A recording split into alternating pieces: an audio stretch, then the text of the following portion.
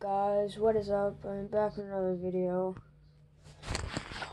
Okay, and today it's actually going to be a different type of video. It's a taste test. I haven't done a taste test in a while. This taste test is um, on Goldfish, but it, it is Epic Crunch. It is Tortilla Crunch Big Flavor, and it's like nacho flavored. Oh, it's a, so, yeah, it's supposed to be nacho flavored. This bag is different than the normal. It's like more like feels different. A different, like, I don't know, but on the back, this is says on the back. And then, uh,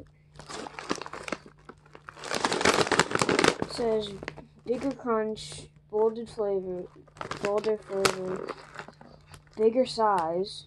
Oh, no, that's a comparison of the normal one is down there, a normal one, and that's a this is. And then it has a fun, delicious, oh, delicious snack you can feel good about. And it says 18 grams of whole. Alright, it's open.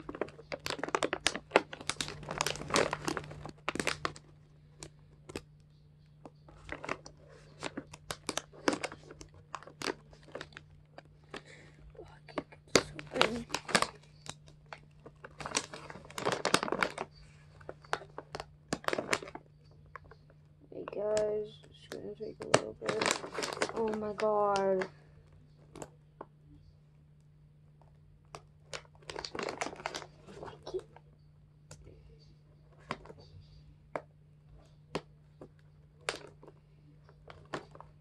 Damn it.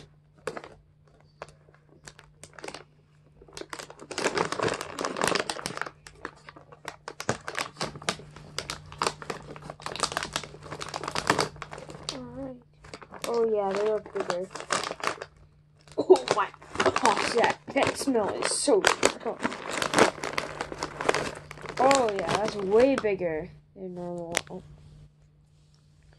Look at that. The normal one's like that fits the size of the actual thing. Smell questionable. Taste though. Here we go.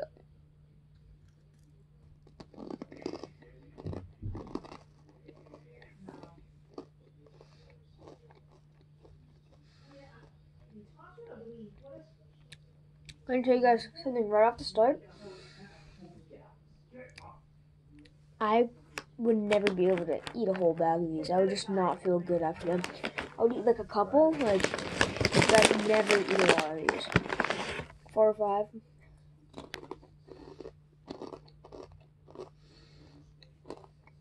Taste. It's okay, but um, I'll give it an eight. Actually, no. I'll give it like a six and a half out of ten. I think it could have been way better.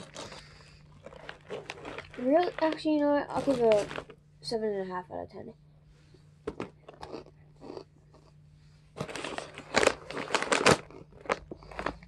The crunch is there, a bear crunch, but a bear crunch is kind of just like being stale, kind of you bite into it to stale. The,